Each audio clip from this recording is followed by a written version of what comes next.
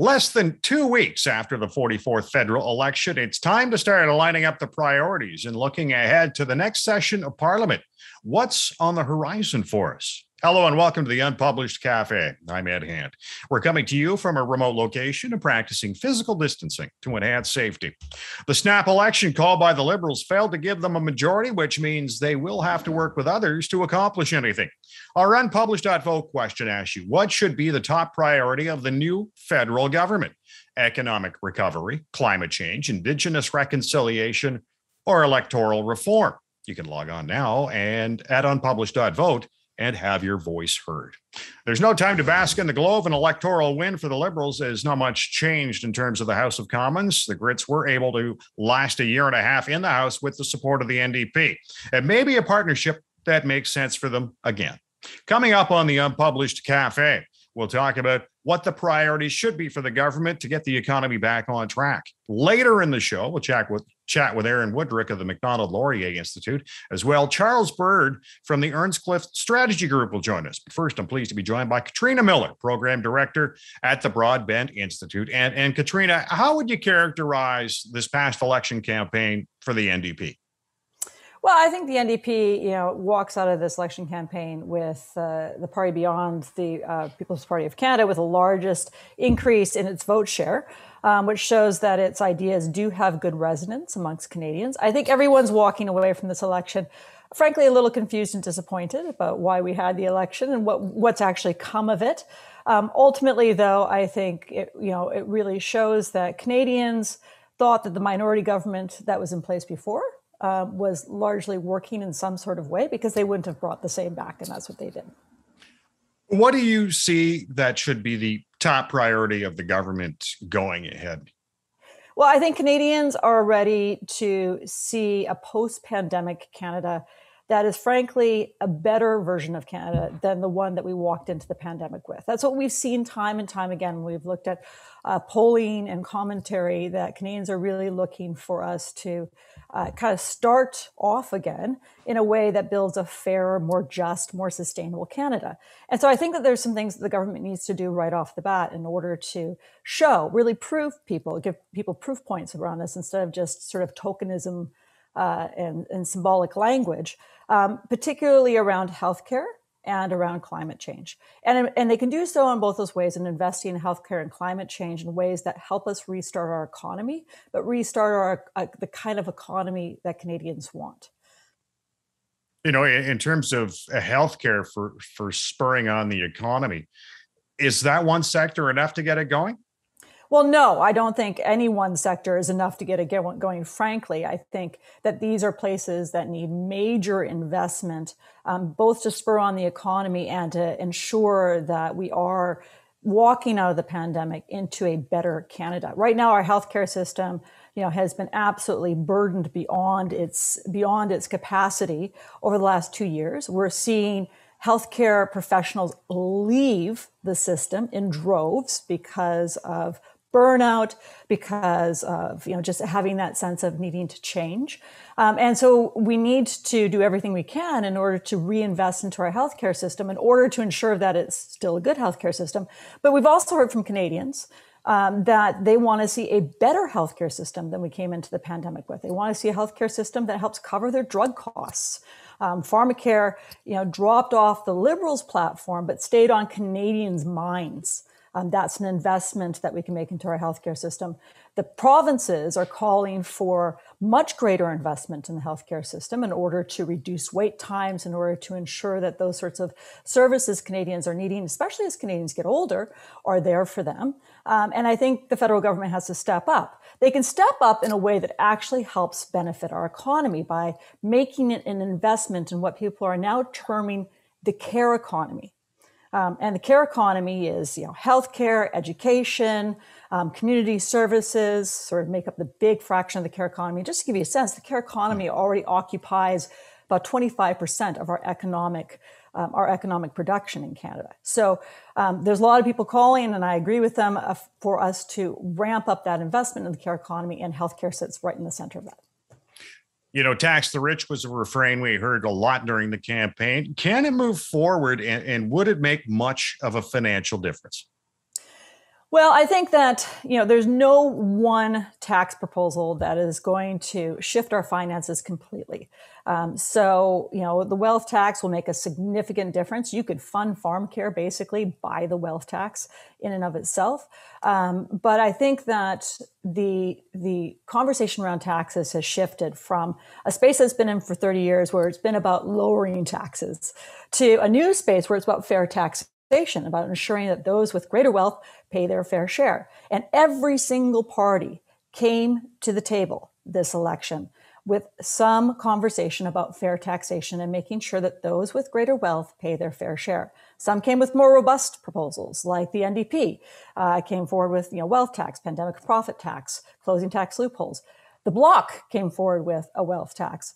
Even the Liberals came forward with some tax measures, including a, you know, a minimum tax on those high income earners of 15%. I think they can do more. And I think by doing more, they will start to gain the long term resources we need, revenue we need in this country to really expand those systems people depend on, like healthcare, like income support programs, and also expand those investments into the green economy. You know, Justin Trudeau mused late in the campaign about electoral reform, primarily ranked ballots versus proportional representation. Now, we heard that in 2015, nothing happened. Do you expect any movement on this?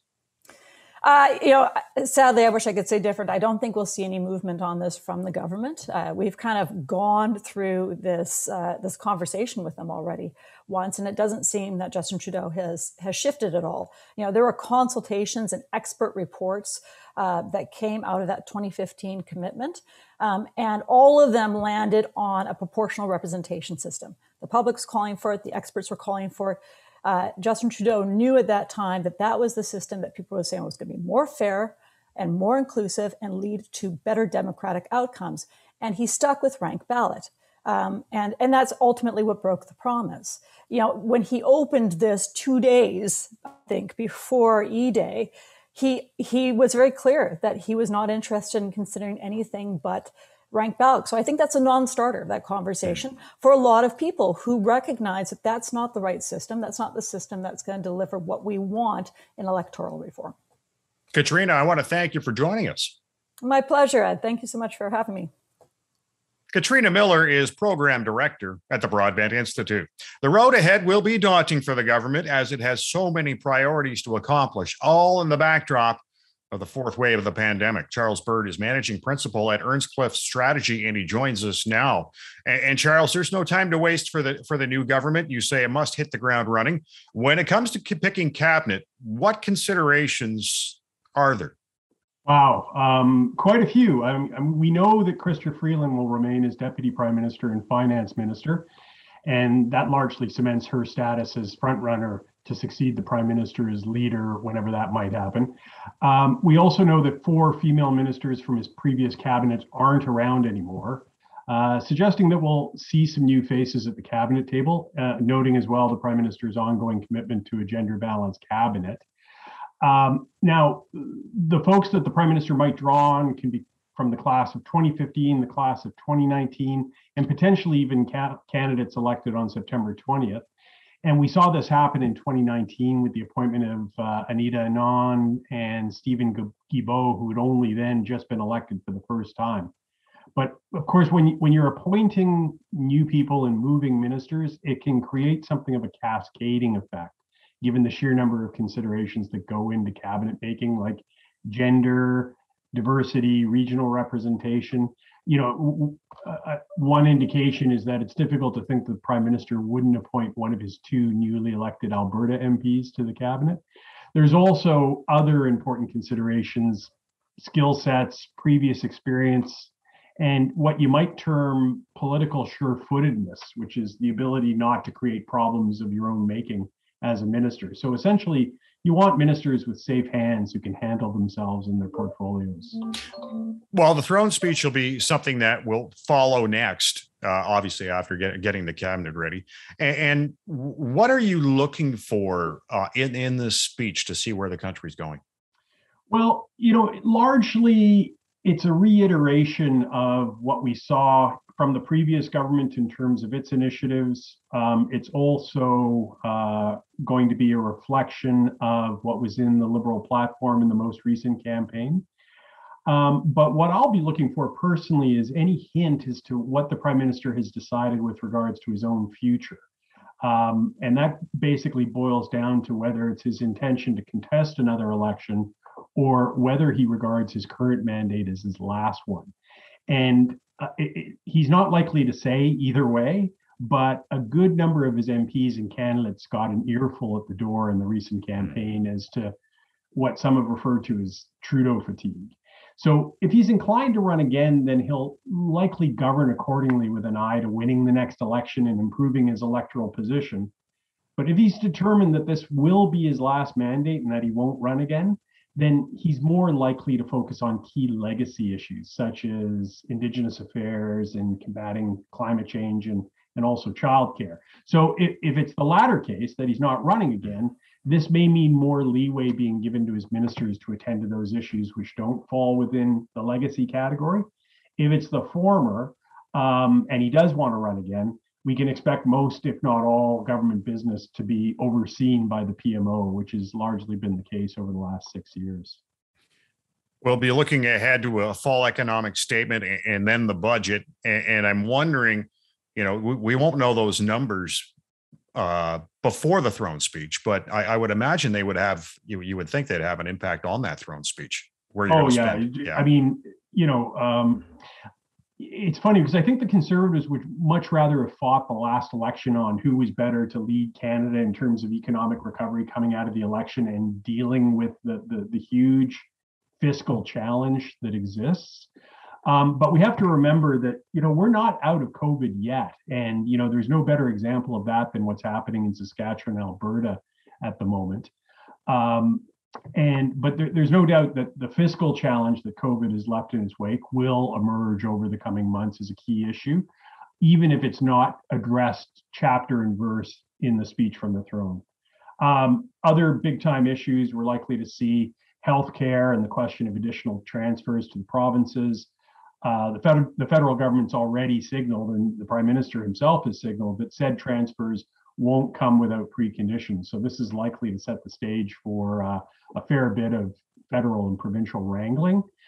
You can also throw in the issue of long-term care in there, which is made all the more notable by the demographic realities of an aging population that predate the pandemic now, the long-term care is more provincial in jurisdiction, but it's also an area where federal officials obviously have interests and have had some things to say.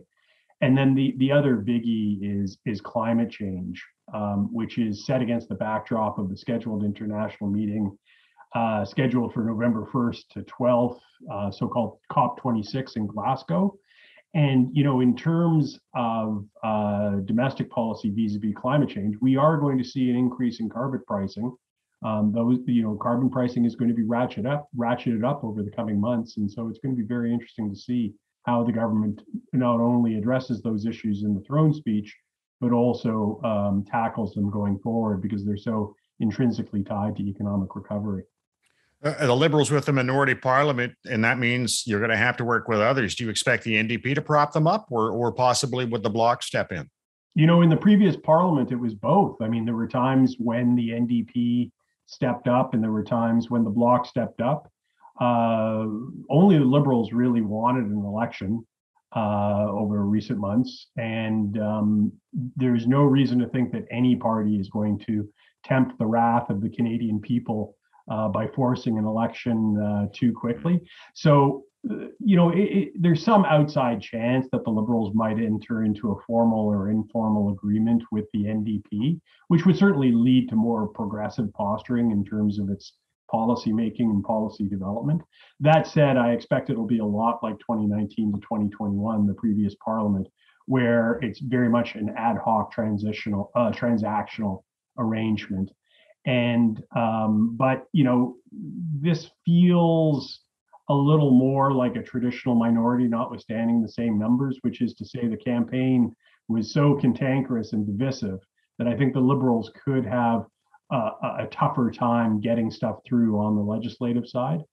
Um, and so that really goes to who are your house leaders, right? Do you have a bunch of individuals who can work together effectively across the floor to get things done? Or is it just a, a, a partisan gong show? You know, a lot of bills, some controversial, died when the election was called. Do you expect them to be reintroduced? Yeah, I don't. I don't see why not. Um, I mean, this is uh, this is a government that's very intent on what it wants to do. Um, you know, there's been some people who've suggested, oh, the platform was all about show and it was all about electoral positioning, and, and those commitments won't be taken very seriously. I, I disagree. I think what's in the platform is likely to to be the watchword going forward in terms of what this government intends to do. And I think previous legislation it falls into a different but not dissimilar category of you know what this government is about and what it wants to accomplish. Charles, I want to thank you for joining us. Delighted. Ed. Thanks. Charles Bird is managing principal at Earnscliffe Strategy. Now, the road to economic recovery in Canada is a tall hill to climb. Aaron Wudrick's the director of domestic policy at the Macdonald Laurier Institute, and he joins us now. And Aaron, what do you see as the number one focus of this new federal government?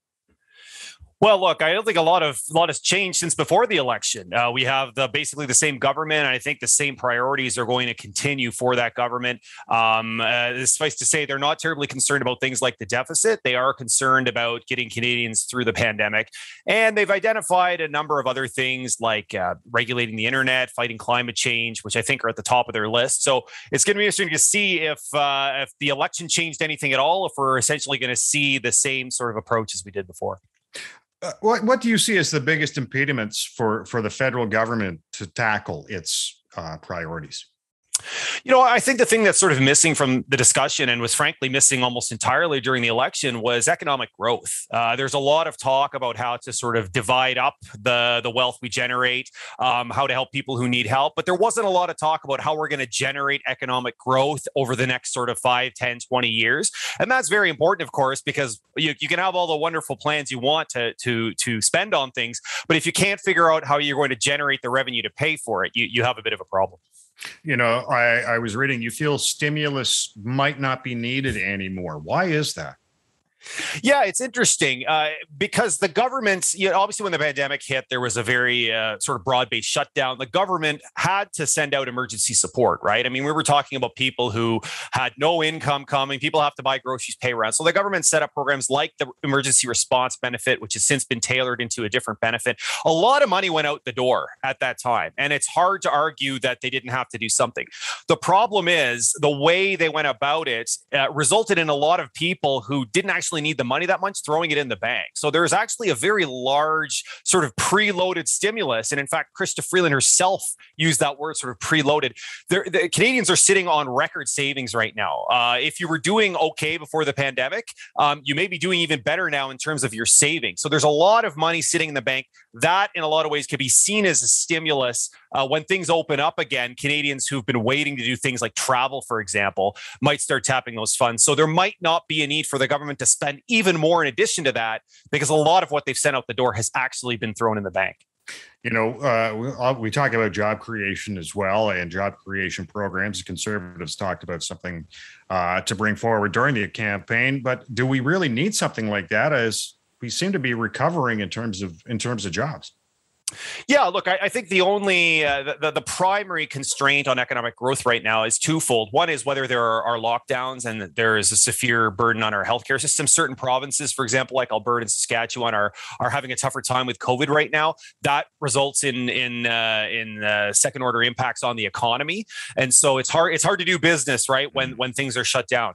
Uh, but if things are open um, the only other constraint then is are there certain supports? And you know, if you've been driving around town, you've probably seen a lot of help wanted ads in a lot of businesses, especially areas like hospitality uh, that are that are trying to recover. Um, and the challenge is uh, it's twofold. On the one hand, government wants to help people who need help, but if you're too generous with your help, um, you're incentivizing some people to not look for work, and that's why you see a lot of businesses uh, struggling right now to find workers. So it's a it's a it's a tough needle to thread because of course you want to help people who need it, but if you're if you're too broad with your help, you end up actually sort of removing people from the from the workforce when when a lot of businesses are in desperate need of people. You know, I, I have heard that argument several times, and and uh, I, I've seen it several times. Uh, uh, as well. Uh, the thing I see about that is in terms of in terms of CERB, uh, they get five hundred dollars a week, so two thousand dollars a month. If you look at that, that's less than minimum wage in Ontario. So I, I'm kind of wondering, is that not more a reflection on how the employees are being treated by the employer? Yeah, look, it's not a ton of money, but remember, not all the people who are earning CERB are sort of uh, they're they're not uh, independently living, right? You have people who are sort of living at home with their parents, and two thousand dollars may not be a lot of money to support a family, for example. But if you're a young person who doesn't have to pay room and board, um, that might be the difference between you saying, you know what, I'm not going to go look for work at twenty or thirty hours a week, you know, as a server, for example, or a bartender, uh, when you could get the money, uh, you know, without doing anything at all. And in terms of the the wages that employers are paying, you know, that's a fair point. If you want to get more people, you pay more. The the the problem there is, of course, the prices then for consumers. Uh, you know, a lot of Canadians are already seeing it's more expensive to buy groceries to go out to eat, uh, and if you increase wages and labor costs, that just means higher prices for consumers as well. Uh, debt has always been a big concern of yours, yours as long as I've known you. Uh, uh, is it still a concern despite low interest rates? Yeah, look, it, it's really a question of how lucky do you feel in terms of risk. It's entirely possible uh, that interest rates stay low for a decade, and in that case, we don't have a serious crisis on our hands. I certainly concede that. The question is, we don't always know when uh, when interest rates are going to rise. They're usually usually inversely correlated with inflation, and as some people have maybe seen in the news, there have been some signs that inflation may be rising. Um, you know, some people argue that's temporary, but if inflation does take off, that's going to put a lot of pressure on the central central bank to raise interest rates. And then that, of course, is going to lead to bigger problems fiscally. So I, I view it more as uh, what's your risk tolerance? If you're worried at all that inflation will increase and interest or uh, interest rates will go up, we need to get a handle on debt. If you're feeling very confident that won't happen, then debt's not as big of a problem. Aaron, I want to thank you for joining us. Thanks for having me. Aaron Wudrick is the Director of Domestic Policy at the Macdonald Laurier Institute. Our unpublished vote question asks you what should be the top priority of the new federal government? Economic recovery, climate change, Indigenous reconciliation, or electoral reform. You can log on and vote right now at unpublished.vote. I want to thank our guests today on the Unpublished Cafe Katrina Miller of the Broadbent Institute, Charles Bird of Earnscliffe Strategy, and Aaron Wudrick of the Macdonald Laurier Institute. And I want to thank you for watching the Unpublished Cafe. Stay safe. I'm Ed Hand.